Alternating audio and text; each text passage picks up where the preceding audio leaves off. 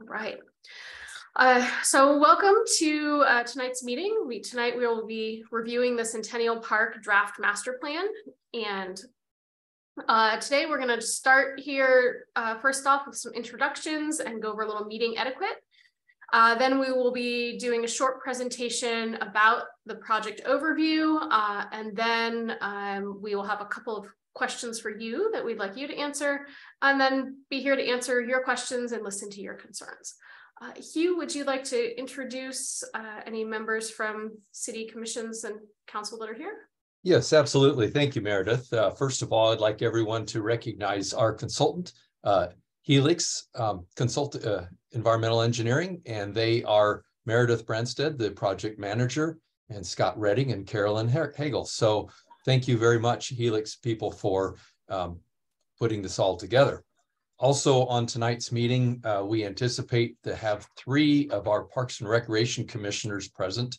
Uh, Sean McMahon, I think, is already on the, the call, and I didn't see yet if the other two have arrived, but we have our Vice Chair, Keith Thompson, and also Danielle Shea that we're expecting to join us. So if um, just so you know that our your park your the city parks and recreation committee commission has is well represented.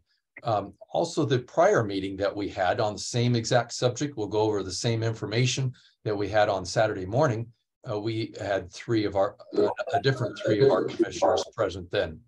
So thank you very much commissioners. I also see our department chair um, reggie hubbard here and from the city manager's office, Georgianne Mager Smith.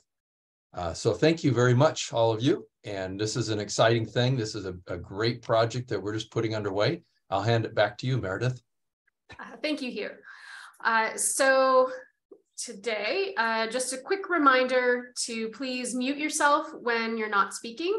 Uh, and the mute button uh, here can be found. It should be in your left-hand corner of your your command bar. Um, and then you can mute, your, mute or unmute yourself by clicking on that button. And if you have phoned in, you should be able to do that using the star six. And we'll go over um, how to raise your hand at the end of this. Um, if you have questions you'd like to ask during the presentation, you can put them in the chat. We'll be monitoring that, but we are probably going to save um, we're planning on saving questions until the end and answering them all at one time, unless it's a kind of critical item. So uh, with that, I wanted to start this presentation with a little review of the project site history. Um, there's been a lot of stuff going on on this site, uh, starting in the early 1900s. Part of the southern part of the site was used as the city dump, uh, and then for a portion of time was also a wastewater treatment plan plant, but that closed in 1972. Uh, and then shortly thereafter in 1977, the first portion, the 62 acres on the south parcel was designated as a park. Um, by 1986, an additional 73 acres were added to that park. Um, and then that opened the way from the 1990s for some recreation and, and sports um, uh, fields and, and sports courts to be constructed, uh, including the existing ball fields, the tennis courts, uh, and in the late 90s, an additional 130 acres was added to the park, which are those, those far the northern parcels. Um, in the 1990s and early 2000s, we also, the city had a number of trail planting and uh, or trail construction and tree planting along the various uh, parts of, of Horse Creek.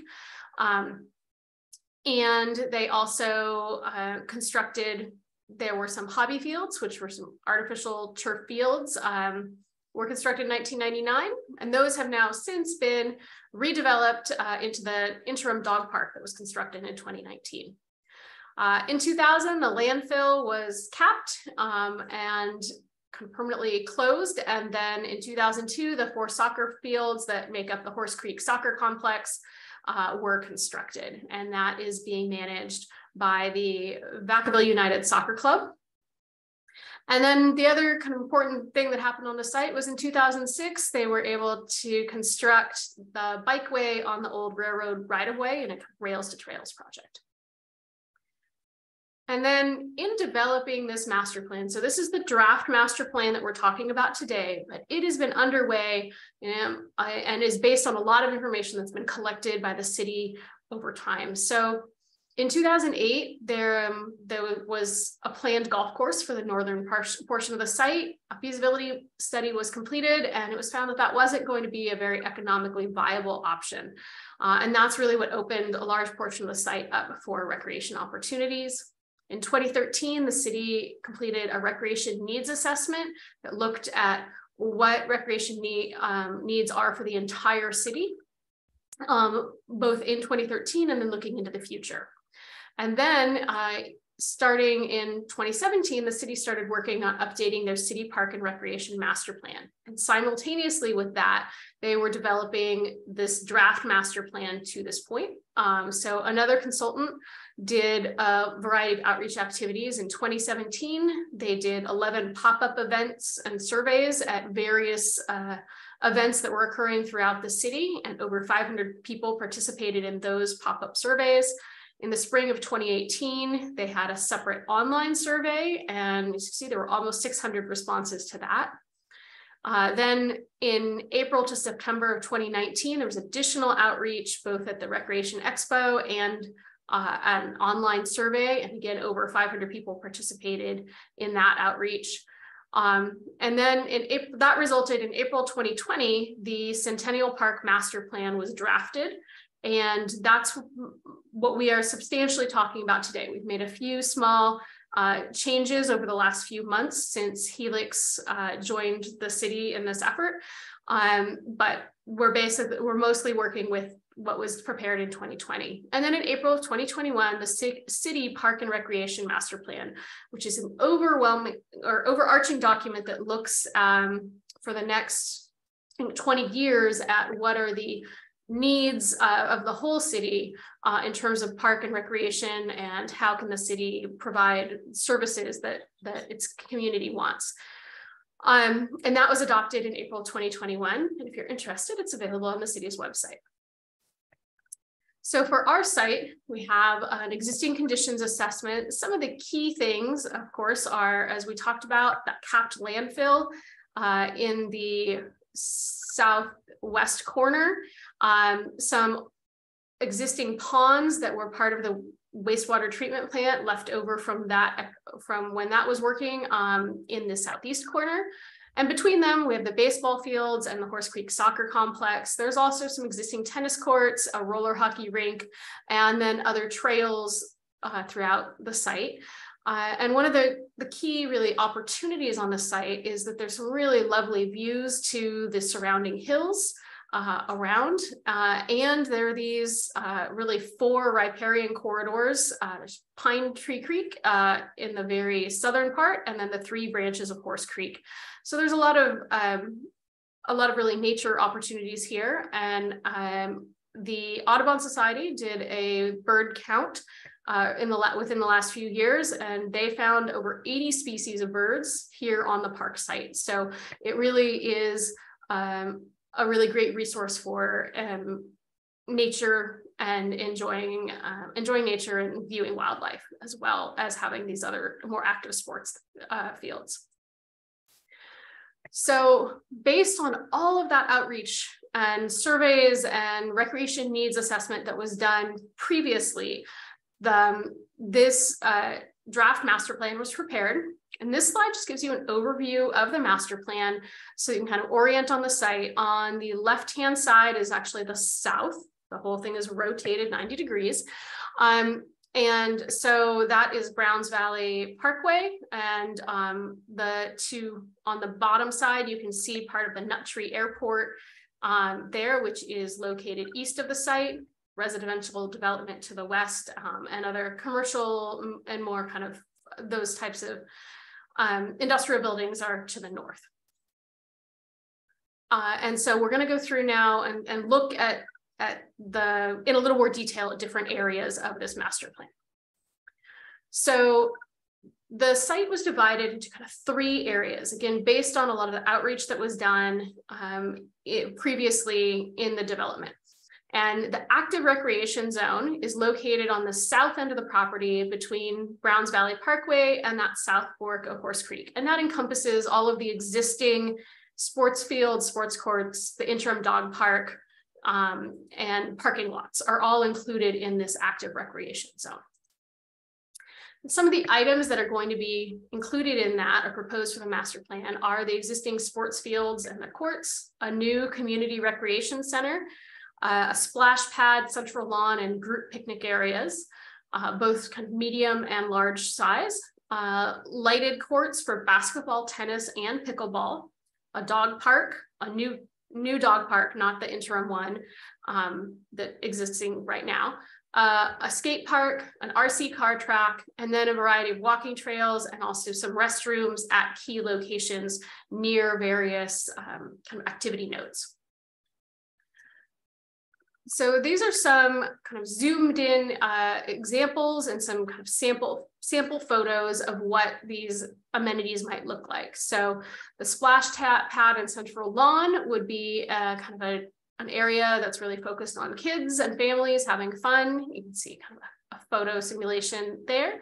Um, the dog park would be uh, quite expanded, uh, approximately twice the um, the size of the interim dog park or even, even maybe a little larger. Um, and that would be, look, that's proposed to be in the um, southwest corner, sort of uh, over part of the existing landfill. Uh, there would also be a new skate park proposed in that area.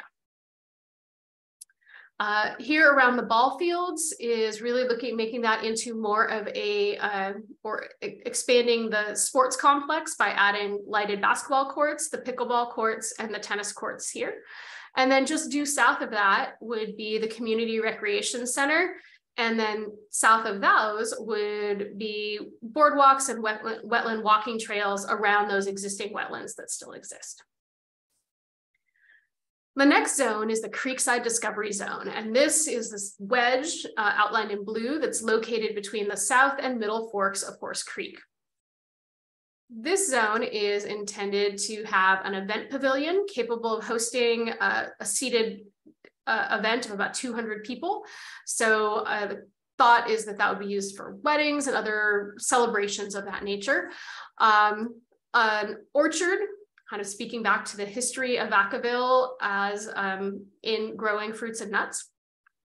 Native plant and pollinator gardens, a nature playscape, so this is where we have a, a large playground, sand volleyball courts, and more group picnic areas, restroom buildings, and then again, more walking trails along the existing creek, creeks, adding to that network throughout the park. Uh, so here's some examples, uh, a little zoom in on the nature playscape and the picnic area here in the center.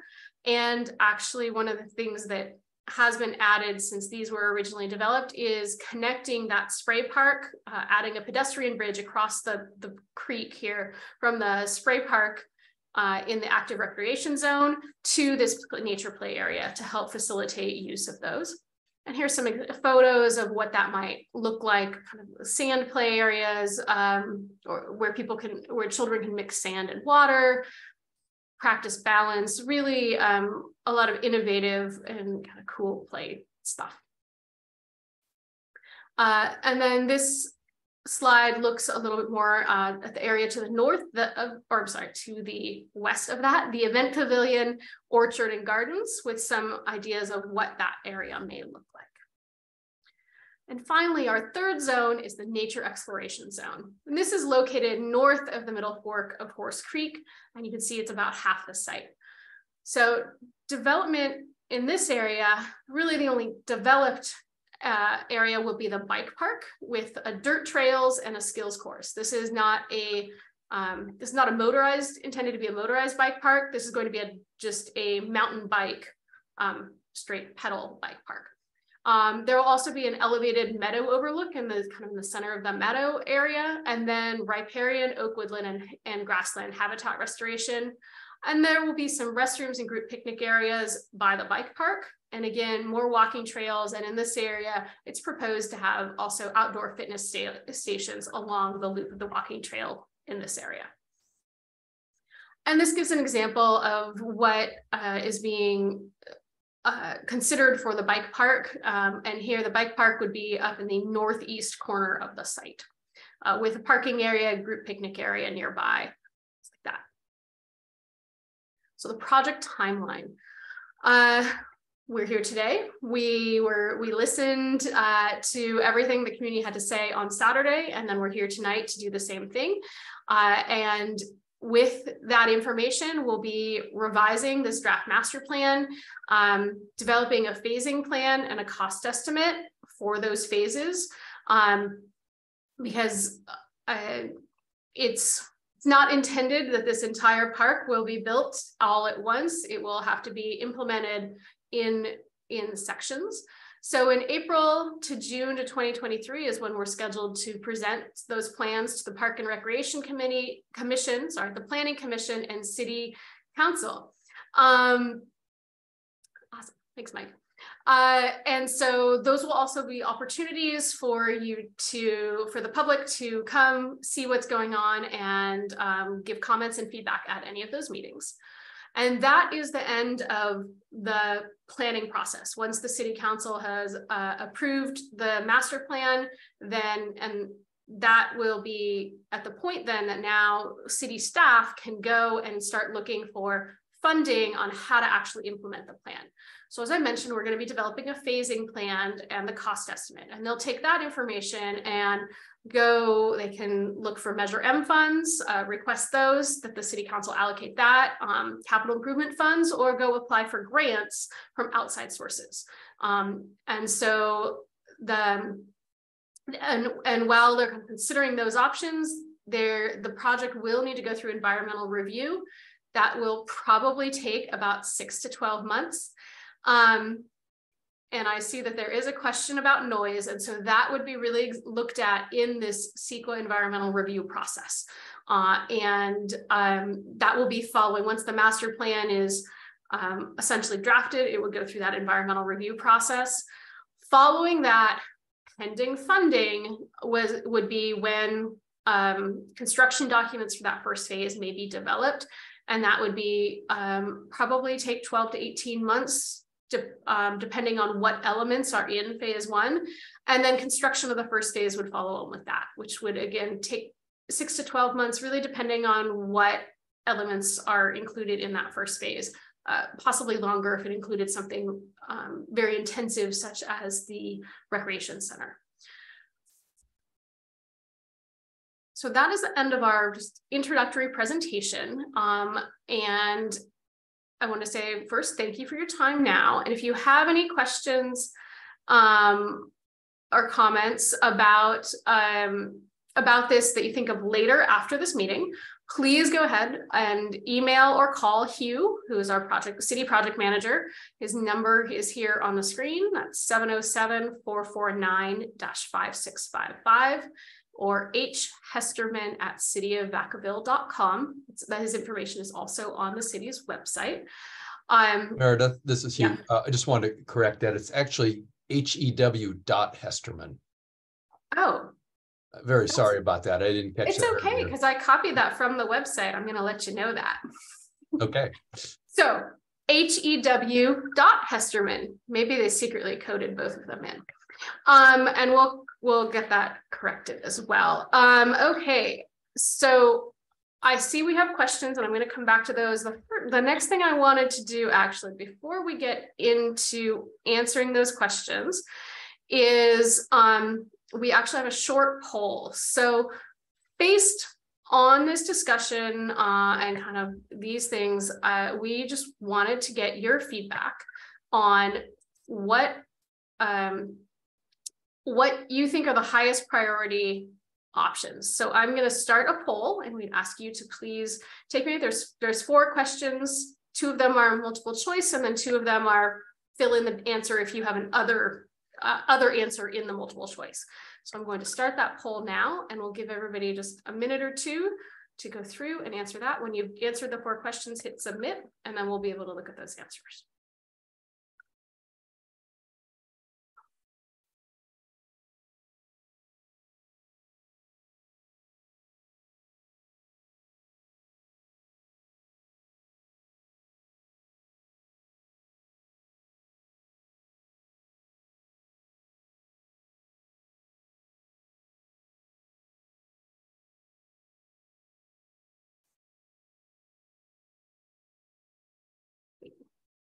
Thanks. I see some people are starting to submit answers. Thank you for that. So we'll just leave it open for a bit longer.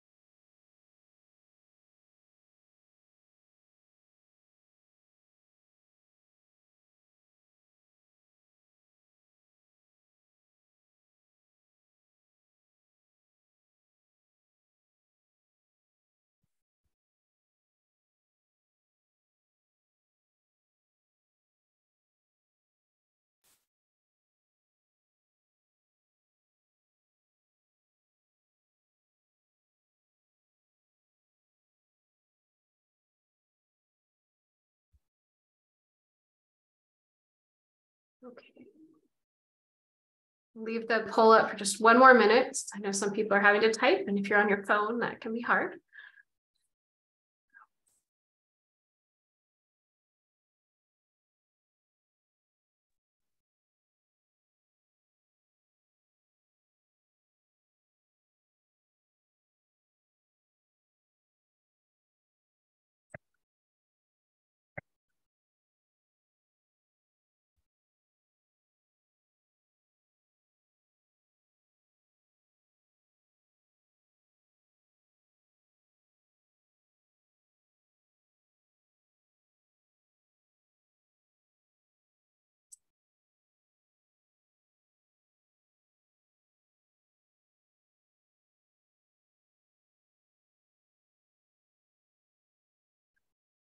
Okay, I am going to go ahead and close the poll now.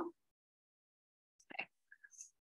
Uh, and then I'm just going to quickly share the results. So we'll be able to look through this and, and see what you wrote if you filled in the other, but you can see just looking at this that um, the top um, top priorities for people who are attending this meeting are that the nature trails and open space, bike park and bathrooms are all getting high high high um, things. Also, the pickleball court is also uh, kind of a, a high priority as well. So that's really useful information and the dog park.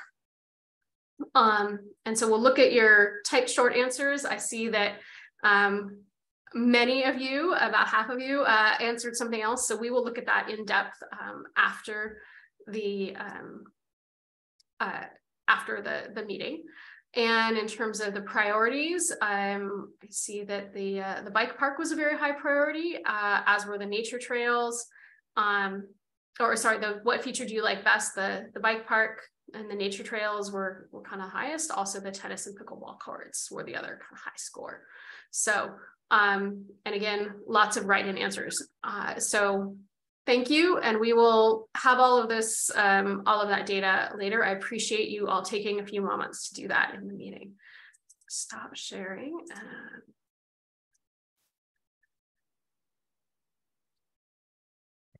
Uh, so with that, um, in terms of the discussion, we are going to um, go ahead and start with the chat questions. And then we will go ahead, if you have questions other than that and you want to raise your hand and, and speak to the group, we will get to those as we go through the chat. So I know there's a couple questions about, about sand volleyball. I'm going to try and answer all of those at once here. Um, uh, so um, the, the sand volleyball was um, at this point is not planned to be lit, um, but that may be taken under consideration. Um, and um, uh, there had been details about a sound or wind wall, but I think that's an interesting idea that we will just note for when detailed design on that area starts.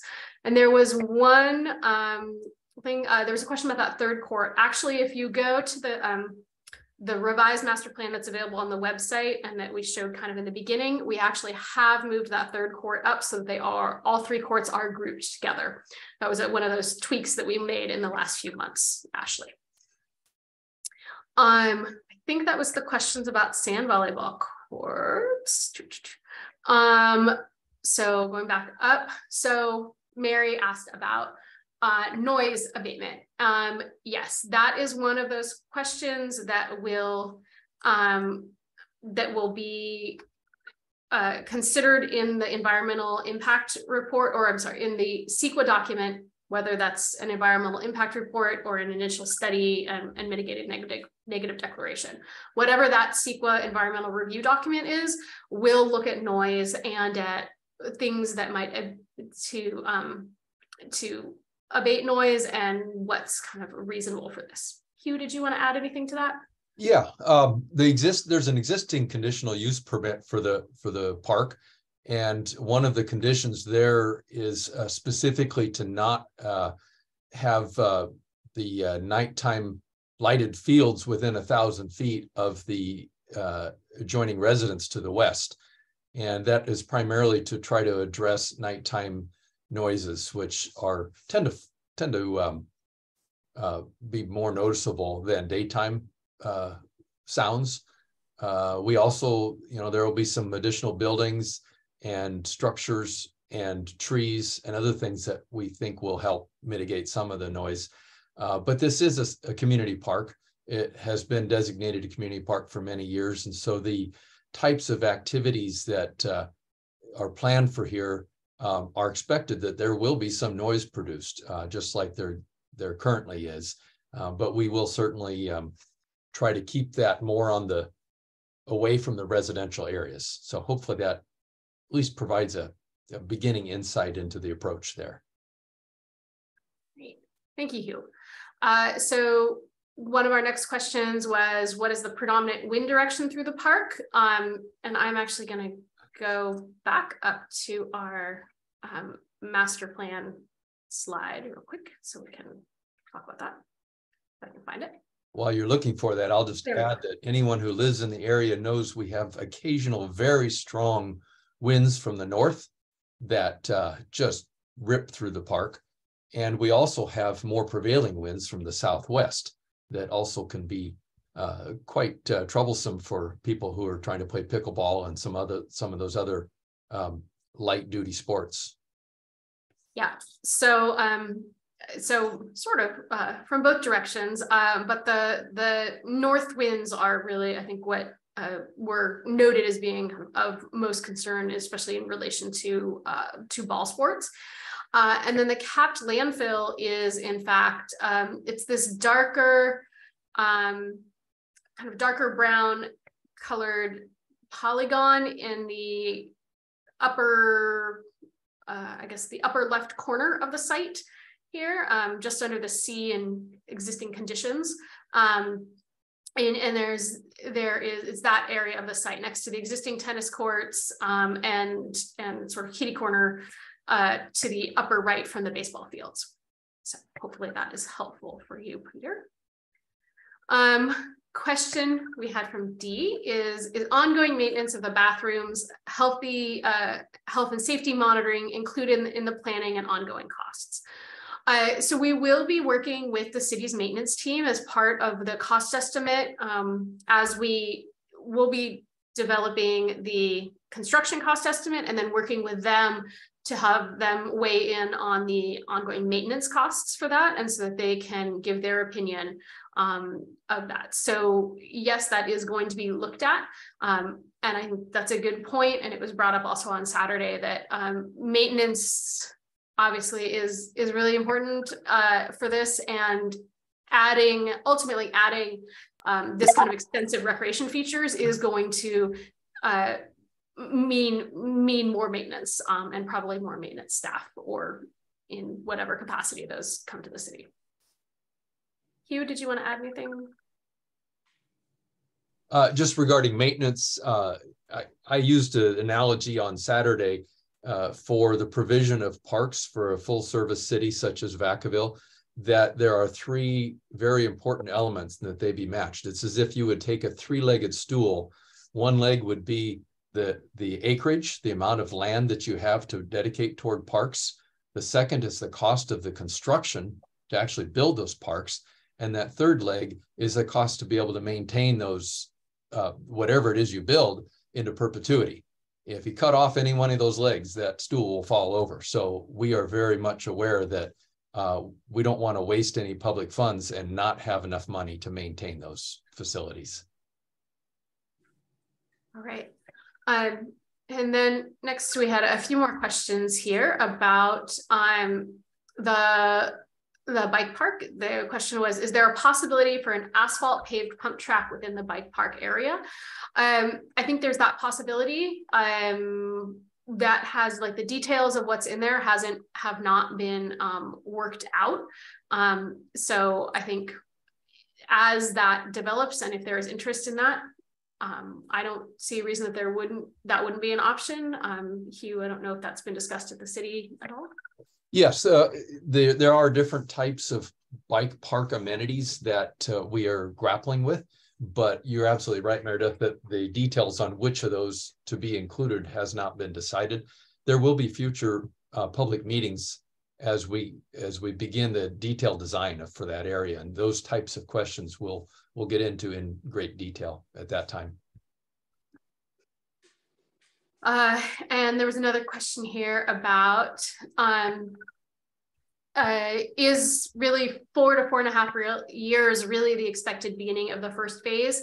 Um, it could be as soon as is about three years, but by the time we get through that that um, the planning process um, and and then through construction, it we are probably still looking a few years out for any substantial um, changes. Obviously, in that intervening few years, the city may be making um, updates and um, doing other improvements to the existing features that are going to stay on site, like the, the sports fields and things like that, um, that are then consistent with this master plan that could be integrated into the final kind of long-term design.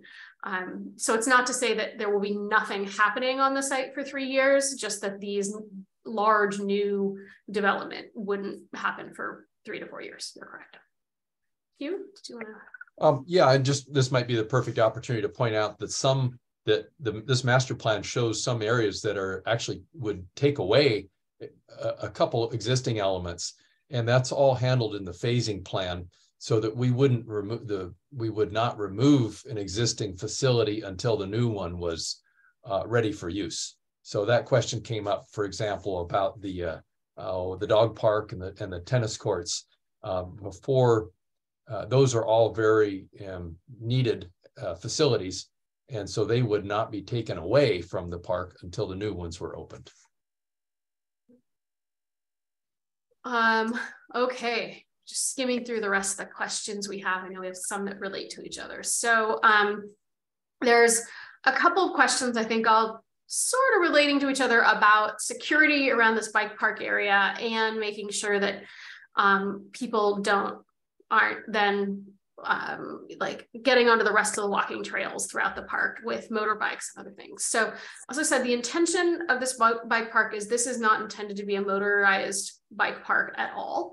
Um, for that, a security fence around the bike park area, it is going to be um, you know, or it, I think at this point it's envisioned as being unlighted. And so, yes, um, like large areas of the rest of the park, there would be gates and security fences um, to keep people out of certain areas at, you know, after dark. Um, uh, but as to exactly what what that what exactly that's going to look like, again, that's a detailed design that hasn't been there. But the intention is that it would be a basically a dawn to dusk uh, amenity, not not operating after dark. Um, uh, will the new proposed parking lot near the bike park be gated? Um, yes, I think probably I see Hugh nodding. Yes, I think it would be similarly managed similarly to the rest of the park. So when um, you know when the park is closed for the night, those gates would get closed. This might be a um, good opportunity, Meredith, to point out that the city also now has a park ranger program. And uh, that has, we know there's been problems with uh, both uh, four-wheel vehicles and motorbikes out in Centennial Park, as well as a number of other locations. And so those um, those park rangers uh, will be showing up on on different times and, and dates and, and can be called uh, if anyone observes problems too. So we we want to get that problem under control. Certainly the the bike park will be um, attractive, I would say, to motorized bikes, uh, motorized bikes, and that is a, a big no-no for the park. Um, uh, and so I know there was a there was a question uh, about well, what's going to keep motorized bikes um, out of the wildlife areas and running across open areas. Um, it's apparently this person thinks that it's a problem today, um, and that that may increase. Um, I think uh, you know, there will be some kind of standard fencing around those open space areas. Um, and as you said, I guess a lot of it is um, having eyes on the park and and more um, enforcement, keeping keeping an eye out for people who are not using the park well. Um, you, if you want to speak to that again. Yeah, absolutely. Just and appropriate fencing or, or other types of restrictions that might uh, help in preventing those activities. I think just simply having more people out here using Centennial Park has already helped. Uh, for a while, it was, well, in our 2013 needs assessment, one of the questions we asked was uh, uh, how many residents uh, have visited Centennial Park or, or knew of it, and only half of the residents even knew it existed at that time. And that's sort of surprised staff because there's a lot of really amazing uh, nature areas to enjoy out here, not to mention all the active uses south of the creek. So I think the more people that are out here, uh, you'll see it becoming more eyes on the park, more people that will report problems. Also, I, I would like to point out that the um, there's an a, existing um, currently uh, I think it's a dirt road that runs through. There's a sewer line that runs on on this road that should that you can see here that would lead to the um, the bike park parking lot. And so looking that road would be um, uh, you know semi-improved, but it is intended to, to allow police or other security staff or maintenance staff to be able to drive from one end of the park to the other, not open to the public. Um, but that um, that improved access uh, for enforcement um, staff may be helpful as well. Uh, and then our next question is, is the intent to have trees around the bike park area uh, to block wind? And as you can see on here, yes, it is. It would both be serving to block wind and to create a visual buffer of the bike park from surrounding areas, right? Um, and also, uh, as I said, this whole northern half of the site is really the focus is um, is habitat restoration. So looking at um, this, all these trees will probably be native plants that are, are a riparian or oak woodland restoration. Um, and then our next question was, does the map depict a walking trail around the perimeter of the park? I couldn't tell. I think there's a few questions. We're gonna, all right. I did not think about having to click back and forth here on my presentation. So um, yes, there is um, there is a walking uh, walking trail. There is actually a 5K loop trail that kind of winds throughout the park, um, but there would be a, a, a, kind of perimeter trail that that um, uses the existing um, the existing walkway or trail that runs along the back of the residential development to the west along that rail corridor, um, and then along the north boundary, and then along the sewer kind of access maintenance road um, that runs runs uh, down the um, east side of the park. And then from there, you wind through all of those sports fields. And then there's a number of trails, as you can see, running through the meadow area in, in between. So there'd be a lot of options for creating loops and sub loops uh, within that. But there is a, a generally perimeter walking trail. And we had a few comments about um, the soccer field. So there is, um, there was a, a new soccer um, a field constructed north of the original soccer complex um, uh, just recently. And actually, that's west. I'm sorry, I did it. it's hard. West above on this plan of the of the existing Horse Creek soccer complex, and there is a, a, a field that was constructed just within the last few years. Um, due to the uh, the desire to be able to group some other activities into that central node, uh, the master plan at this point does propose relocating that field to the um, east side of the existing complex instead. So the number of fields would remain the same, um, but it would be relocated. Uh, again, that's something that kind of came out in the original design process. Um, and uh, there's that. Uh, in terms of the splash pads being Meredith, on. Can I um, can I address that just a, a little yes, bit? Yes, I'm sorry. You jump um, in. Yeah, that that issue was was very was known before we uh, constructed that that new uh, small field, that U10 field. Uh, but in the uh, the agreement with the soccer club, uh, that would not be eliminated until we built the larger field east of the the, the existing facility, which is so much larger that it would, I would say, almost at least double, if not triple, the amount of available turf for soccer play. So, um, thank Thank you, Hugh. And um, in terms of the splash pad, um, splash pads, any new ones these days are generally constructed as a recirculating system. And so the relative water use is um, is low. It's not that it's going down the drain. Um, but I, uh, I personally can't speak to how the city uses splash pads or demand for them. Um, so I don't know, you, if you have any additional information on that. Um, I can just add that uh, that we have some of both. So we have what's referred to as a, a, a misting play area down at the Southtown Park. And that puts out very small amounts of water, but allows the kids to, to play and get wet, thoroughly wet in the summer day. That does not have a recirculating system, but the amount of water that's, that's uh, used there on a typical summer day is less than what would be used to irrigate the same amount of turf. And that's something that's not commonly recognized. Uh, a couple of our other um, uh, um, recirculating uh, areas have, or actually um, splash areas have pumps and a recirculating system. Um, but they, the new requirement now is that you also have to treat that water uh, as you would in a swimming pool. And that gets, that includes filters and chlorination and all that. Uh, but the goal there is to, is to minimize the amount of water that's actually wasted. Um, our next question was, will the park continue to be gated and bathrooms locked to limit late night access? Um, and the answer is yes, it will continue to be used in the same way that the use permit requires and that all the parks in the city are used. Uh, Mary replied, thank you, Mary, to uh, the question about um, winds. I can see what that answer is for.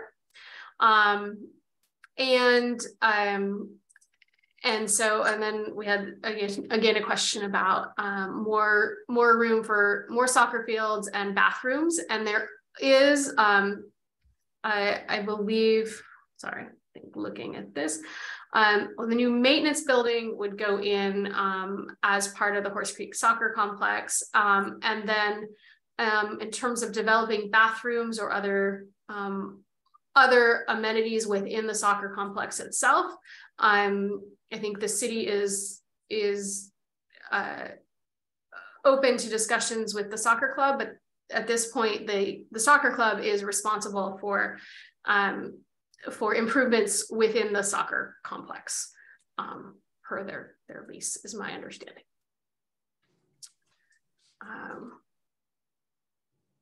uh, okay, I we have a question here that says, furnish a number for rangers, please. I live against the west end. Okay, Hugh, could you, um, I don't know if you have that handily available, yep. we can post I'm that. typing it in right now.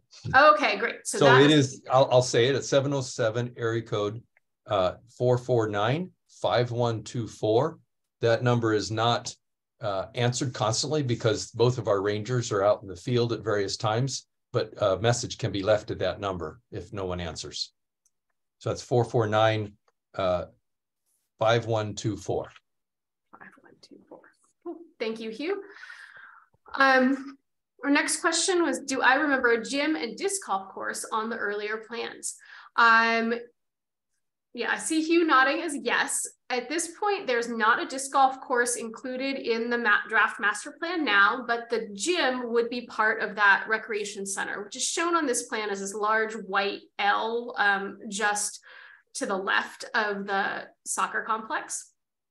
Uh, and that is a is as Ron is about a 75,000 square foot community center, which would include a gym, meeting rooms, um, lots, you know, potentially lots and lots of things. Again, the exact programming of what what uh, facilities are going to be in there is something that uh, should this when this moves forward, it will um, that will be kind of considered, and there'll be um, sure lots more outreach on what that's going to really look like. Um, all right. My next question, can we speak to parking allocation with the new amenities? It's already a traffic jam every Saturday through a good chunk of the year. With added amenities, the parking doesn't seem to match. Good question. Um, there is additional parking um, going in um, and I, the parking has been designed in accordance with uh, park requirements and city requirements for, for um, that. But Hugh, did you have any specific discussions of parking um, as the master plan was developed in the past that you can share? Yes. Uh, so clearly, um, I mean, uh, folks have probably seen on busy soccer and baseball days, the existing parking lots uh, can be filled. Uh, and so we recognize that and adding another uh, soccer field, as was done recently, uh, we put in some temporary uh, gravel lots uh, or lot, I should say, to uh, help augment that. But on the eastern side of this plan, you'll see a fairly large parking lot that would uh, be added to serve the soccer complex primarily. And then additional, like Meredith pointed out, additional parking would be provided to a, a number of the other amenities that currently isn't there. For example, the dog park, the uh, the picnic areas, the pavilion area, uh, the the play areas, the sand volleyball, um, and of course the rec center, which will be, I think the rec center will be our biggest challenge uh, because we'll have to uh, uh, um, adjust that to make sure that for whatever uses are put in the rec center that we have sufficient parking to satisfy. All right. Um, and I just see there's some more comments um, of as we scroll down about parking um, that it looks like there um, there may be less. Let's see. Sorry, I'm just skimming through. Okay. Um, so uh, I, hopefully that's addressed your parking comment uh, question. Um, uh, and um, and we will. I can respond to the pickleball question. Uh, the city already has plans for four new pickleball, dedicated pickleball courts on the southeast side of town, uh, associated with or within the uh, Roberts Ranch subdivision. Those will be lighted courts. And we recognize that uh, with pickleball's uh, uh, popularity, that it's put a strain on our existing tennis courts uh, because we do not have any pickleball courts. So we're we are addressing that. Um, as was pointed out earlier, building new facilities take and planning for them takes a tremendous amount of time. Um, I did also want to point out that parking and traffic is another one of the items that um, will be will most likely be really looked at in um, a more detail um, as the in in the environmental review process, that CEQA process um, for a site such as this where there's so much going on. So there, there is going to be another um, around and if need, if changes are needed to the parking to meet requirements or as a mitigation measure that comes out in that process, then that might change some of the things in the master plan or change some of the layout. So, um, uh, you know, this is um, there is there is that opportunity and that potential for some change, changes to be made for that. Um, question from Joanne, how will you access the new parking area of the bike park? Um, that will actually come in from the north from Allison Drive, which I believe comes off of Vaca Valley Parkway. That's right. Yeah, it'll um, essentially have a dedicated entrance. There's already a gate there uh, where Vaca Valley, excuse me, where Allison, the north part of Allison terminates And uh, the city had a previous plan years ago that Allison would continue right through the park. And that plan has been put aside, uh, but it is where the sewer alignment is. So the bike park would enter through that gate and come into that parking lot specifically for the uh, bike park. Right. So that'd be through the bike park. It may also serve as a trailhead for the trails through that northern section. Right. Um, there's a question, will there be water spigots within the bike park for watering dirt elements? Um, I think that that's a, a, an amenity that could be included. Um, there is, uh, I believe there is water available. So that is something that can be looked at as the bike park is detailed out. And we're noting all of those ideas now, um, Peter, for, for that to get passed uh, on to that future thing. Yeah, let me pick up on that, Meredith. Uh, mm -hmm. Regarding water, uh, currently, the, the, the fields are irrigated with city water, uh, but there is a potential here because of the Putah, the adjacency of the Putah South Canal. Uh, there's a possibility of using uh, raw water for irrigation, and we're looking into that. That could be quite significant, perhaps as little as one third of the cost of city treated water. So that's one of the things we're exploring for uh, watering for all the irrigation in the park. Right. Um, there was a question about relocating that soccer field. Um, and Hugh, correct me if I'm wrong. I, I, believe. Well, actually, why don't you answer that so I don't have yeah. to.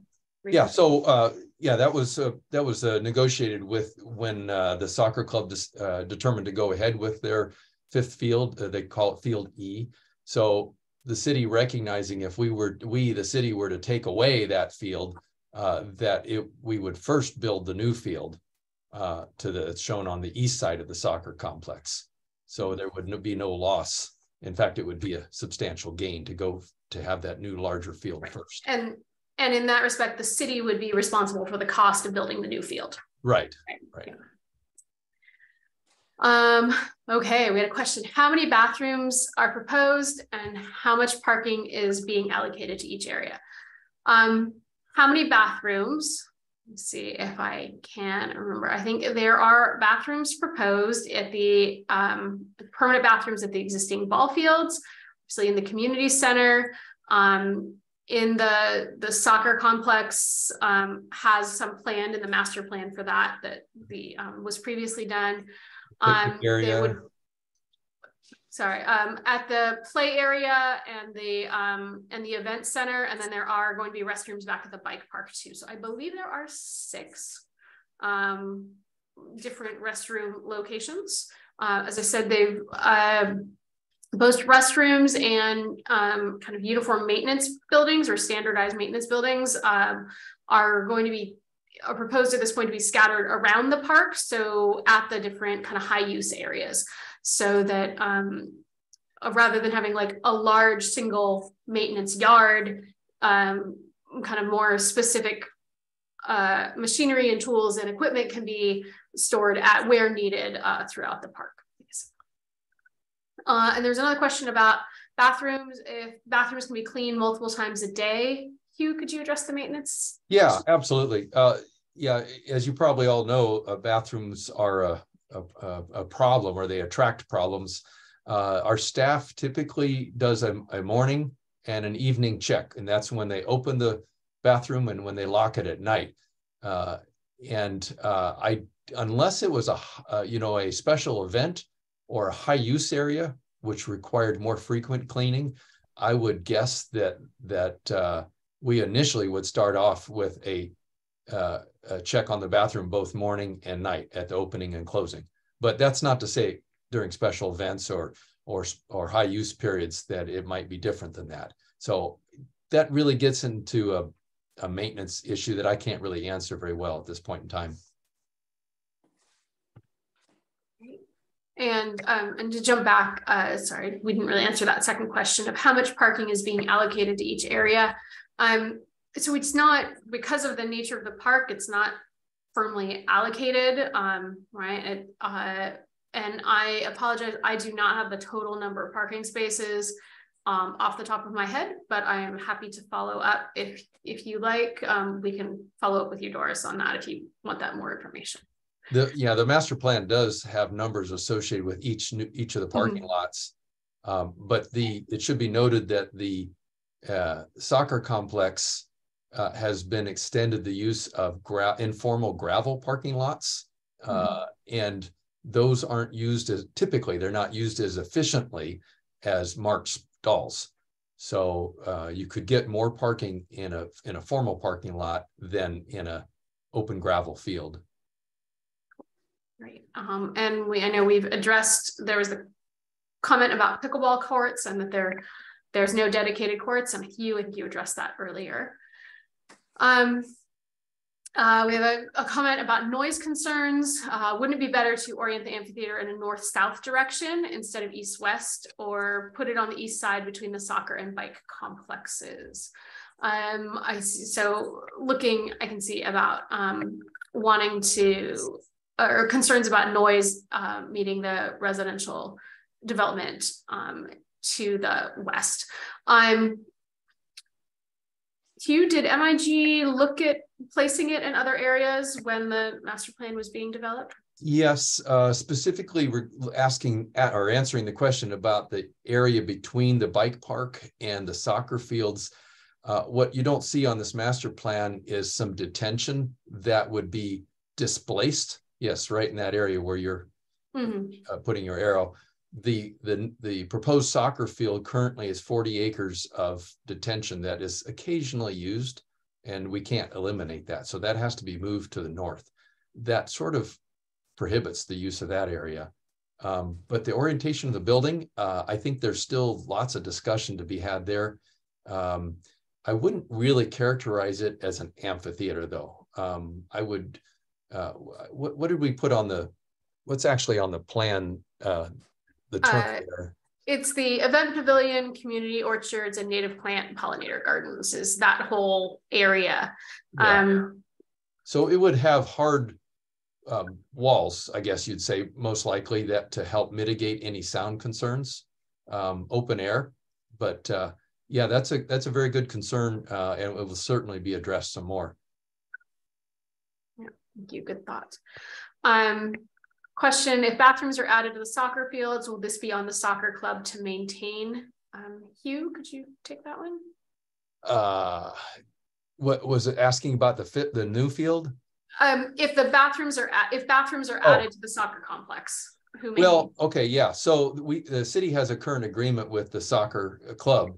And uh, I, I don't think that this would actually happen within the uh, actually come to be built within the terms of the existing complex uh, existing agreement.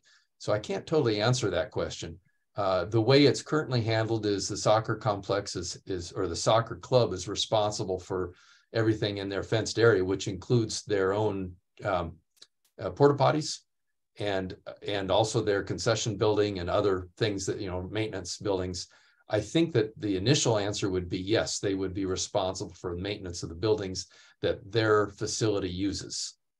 Um, but that could possibly change in 2027. Uh, we have a question, are the water features required and where will the water, water come from? Um, so they are not required. Uh, I think, I assume you're talking about the splash pad. Um, um, they aren't, but I think they were added based on the input that was received in the um, in the the recreation needs study and then in the 2017 18 19 outreach um, that's right. Those are one of a, a very highly requested item uh, and anybody who lives in Vacaville in those days when it's over 100 can understand why the kiddos need a place to cool off. Um, but as we talked about earlier the amount of water that's used in those can vary tremendously upon the design. And we certainly are very keen on not uh, creating any extra water usage. I had uh, another comment just suggesting that we use footprint, not number of courts for pickleball, um, because pickleball takes about half the space as tennis. And you can see that here, the, the, the blue square here is the uh, the pickleball four pickleball courts and this green, the larger green squares are the four tennis courts. Um, question is, are you considering a solar parking lot? Um, you know, that had not been discussed. Hugh, does the city looked into solar either here or at other locations? Yes, I, I would say that that's uh, very much a possibility. Um, the the park itself really doesn't consume all that much power. Uh, I mean, at nighttime it does, but just during the day. But nevertheless, uh, that's getting to be more and more feasible. You see lots of them going up at schools and and apartment complexes and other and and other facilities. I think that's very much a possibility.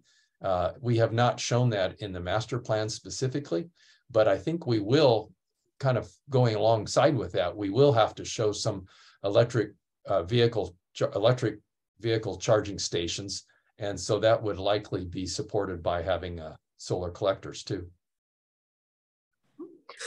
Um, our next question was, um, should or would there be some sort of annual bike park pass or parking pass fees to offset some of the long-term maintenance um, and and costs associated with that? Um, is that something you the city's looked at?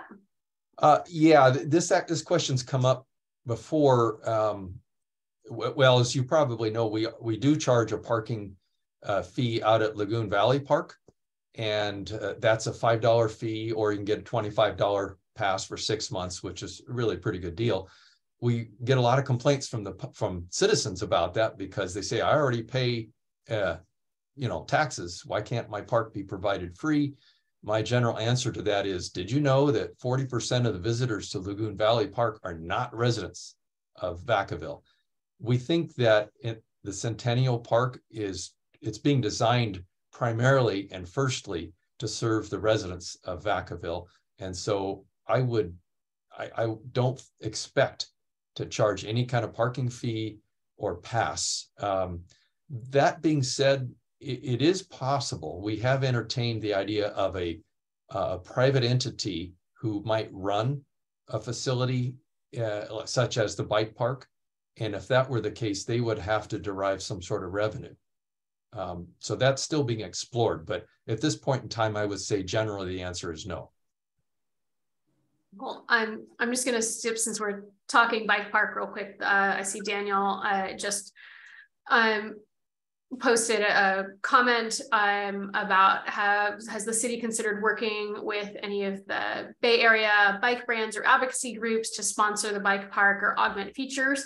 Um, uh, Hugh, I don't know if you've had any conversations of that nature at this point. Uh, yeah, we well we've had not so much for sponsorship, but we've had a number of discussions and inquiries, and actually even formal proposals to operate a bike park. Uh, and so we will continue to um, entertain those those um, those options. Uh, it it seems like it works very well at a number of other locations around the state, and so that could possibly work for us too. We just haven't. Nothing's been. Uh, uh no no sign, contract signed. Uh, no, nothing like that so far. Um, and I'm going to just Doris, I see your comment or your question, but I, I thank you for clarifying when we were talking about water features earlier, um, they were referring to the ponds. Um, oh.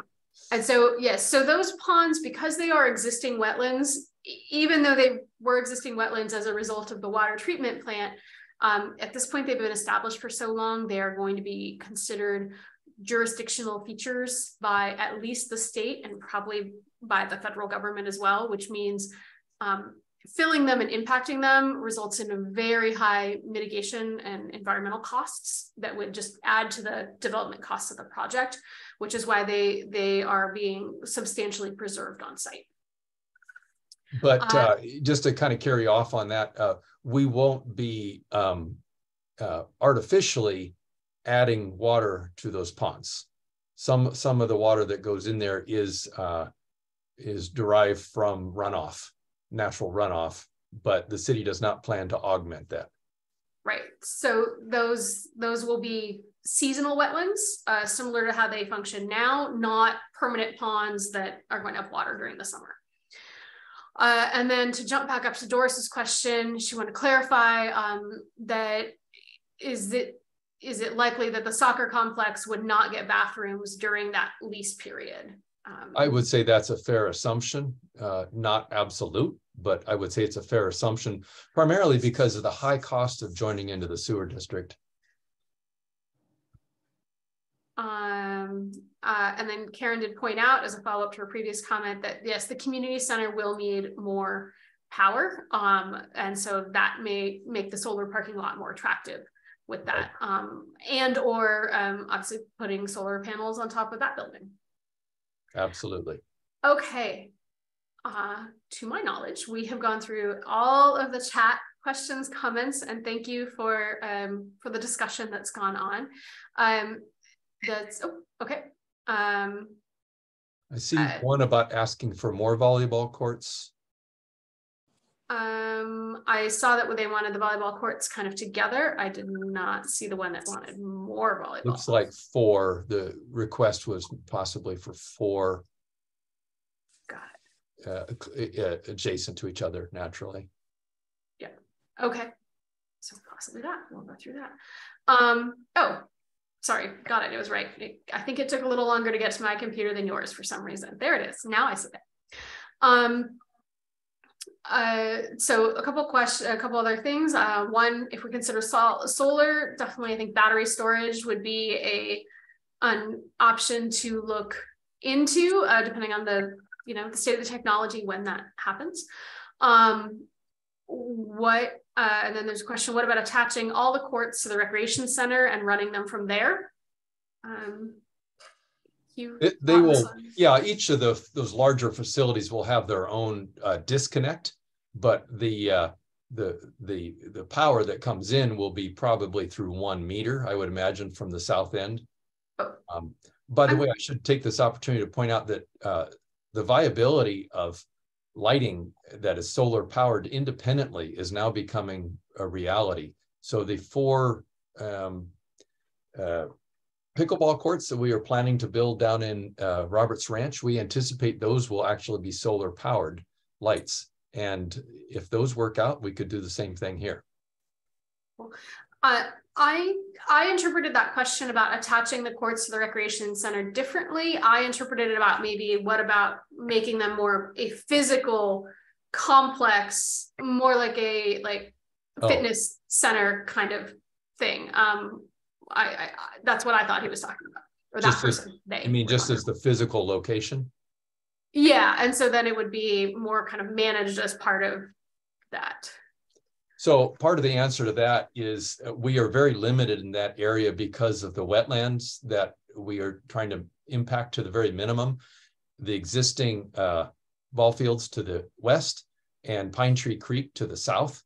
Uh, and plus we, we know we're going to be challenged for parking for that uh, rec center. So having the flexibility of, of putting the courts um, in the corners, I guess you'd say, or the, the odd pieces uh, um, seems to be efficient, but I would not rule that out either. It's, it's however we can design that area to be most efficient. Right, and then I see, uh, yeah, a request for four sand volleyball courts in a lighted facility. Um, um, that shit, man. That that there may be eh, kind of there and that there's a high anticipated des- demand for um, for beach volleyball um, uh, potentially coming coming up in the future. So I think that's something we can look at along with the other input. So thank you. Um, uh, okay, and there's a question. There's so much open land. So um, yeah, there's next comment as it was, and so much habitat. Um, and so as the master plan was developed through the, the previous rounds of uh, kind of conceptualizing and outreach and and and different versions, that's sort of where it settled on this sort of three part area and keeping really a very large portion of it as open space and, and natural habitat um, that did rank very highly. I think in all of the outreach efforts the city has done over the years that open space, access to nature and trails are one of the most recommend most requested amenities for the city. Actually, the, the very highest. Yeah, that's right. I believe you said on, on Saturday that it is trails and open space and then bathrooms yeah. are our one are one and two in in every outreach. So um, so it's trying to, to strike that balance um, of, of things. Um, yeah. Um, okay. And now if anybody, I'm happy, we're happy to keep answering questions in the chat. You can also, if you would like to raise your hand, um, you can uh, do that. We have one more question. Are the trails considered multi-use? Um, yes, the trails are pedestrian and bike uh, friendly. I do not, they're not intended at this point to be equestrian or motorized vehicles. Right, certainly not motorized. Uh, we have much better options for equestrian users. So uh, hiking, biking, walking, uh, those types of you know uh, activities would be. Um, each of these trails are going to be designed a little differently, I think. So some are like, for example, the bike trail along the western edges is uh, 10 foot wide paved. It's part of our bikeway system. So it's very suitable for that. Uh, some of these uh, may be just DG surfaced and possibly even a single track trail, depending upon uh, both maintenance and and uh, and access needs. So I think there will be a variety of surfacing, but um, yeah, certainly not motorized and and likely uh, not intended for equestrian use.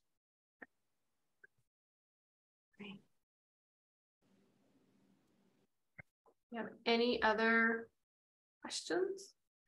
All right, then I actually have one more question for all of you. If you could quickly, we uh, we tried some new outreach kind of methods to um, to get the this pair of meetings to announce them to the community, and we just wanted to get an idea of um, what actually worked. So I have one more poll for everybody. If you could just take a moment, it's just one question. How did you hear about tonight's meeting?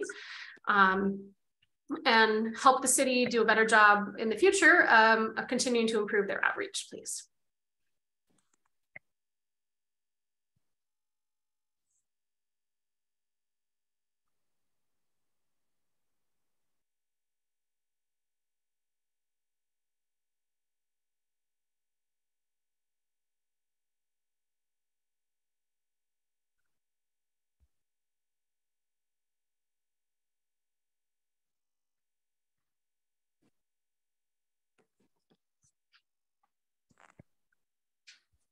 Give it a few more seconds.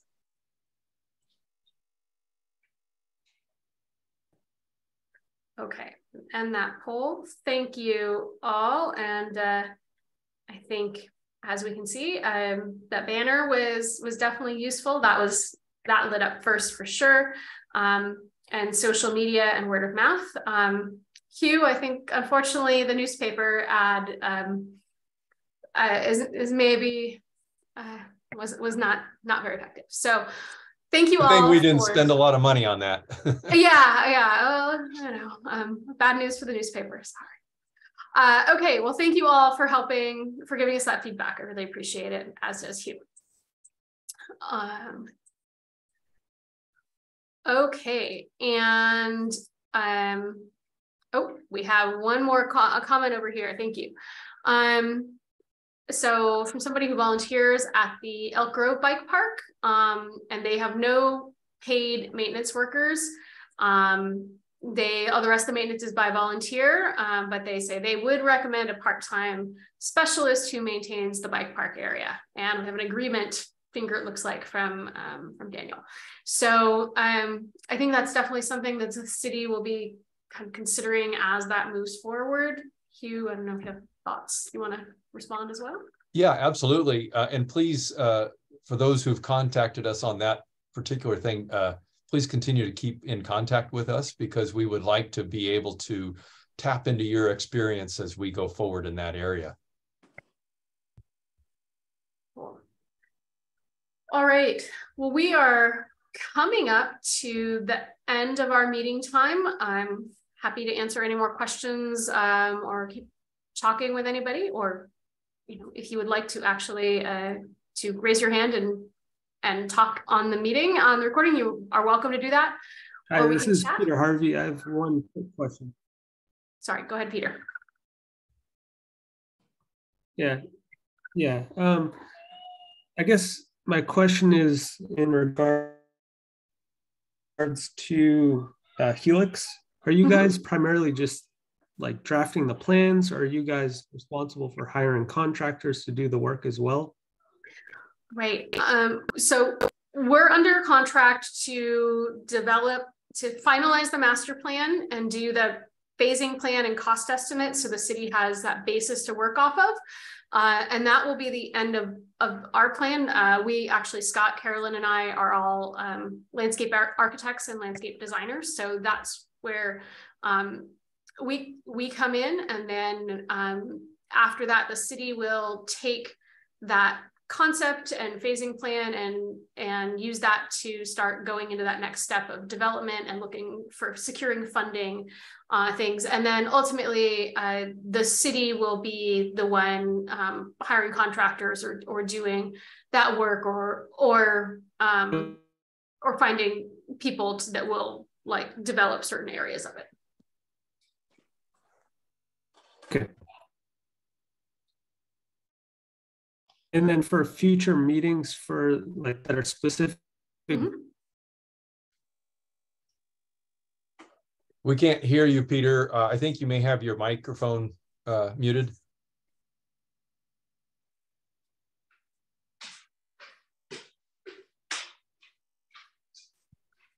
Um, I may try to help answer what I think uh, he was asking, uh, and that was uh, how we reach out to the public has changed in recent years. Um, that's one of the reasons we asked for that poll about the best way to contact folks or how people that made it to this meeting were uh, found out about the meeting.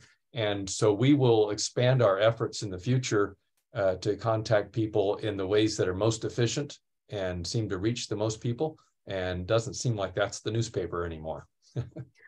Yeah, um, I think he was also asking about maybe future meetings and when were those going to be. Um, Yeah. so this, at this point, there are no more planned dedicated meetings to this. Our next future meetings will be at the Park and Rec Commission. Um, and we will get their input, make any changes, and then um, I, I- at this point, we're planning on being twice to the Park and Rec Commission, uh, and then also the Planning Commission and City Council uh, as I said, probably in April through June of next year. So um, if you kind of keep your eyes on those agendas, that's when we're we're planning on um, having this available for more stuff. And I think Hugh, you'll you'll be continuing to post the website. You can also um, it, we we collected email addresses at the meeting on Saturday. I think if uh, you want to uh, send Hugh an email and he will add you to that email list and then you can get it. Well, he can send out notifications. This that's going to be handled by the city. Um, so the city can then send out notifications of the next uh, chance when it's going to the Park and Recreation Commission, things like that. And, and by the way, just on that subject, so the um, city's Park and Recreation Commission meets the first Wednesday of each month. Uh, so you can go on the city's webpage ahead of time and see what's on the agenda.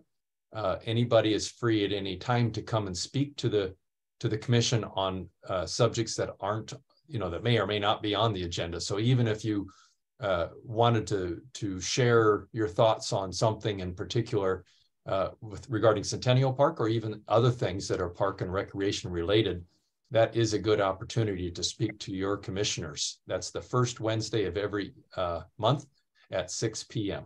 in the city council chambers. And Hugh, I just want to confirm it is hugh.hesterman at cityofvacaville.com, correct? Yes, you're right. You know, I realized that the city actually expanded its email uh, uh, services, uh, oh, probably a couple years ago, and I guess that didn't get changed on that location. So it is hugh.hesterman at cityofvacaville.com. This, the one that's shown on the slide may actually still work. I'm not sure. Sorry about that. Um, but now you know to go to go to your IT guys tomorrow. Okay, Yes. update the website, please. Um, There were too many Smiths working for the city. I think it was the problem. that's it. So, all right. Well, thank you all very, very much for your time today and for taking time out of your busy schedule to be here. Um, hope that we helped answer some questions. And as, as I said, if you have any more comments, feel free to get in touch with Hugh and um, he will pass them on to us and we will be working closely with him over the next few months to make some tweaks and, and see where we go and what changes are made. So with that, I'm going to stop sharing and um, stop recording somewhere. There we go. Stop recording um, and have a great night, everybody.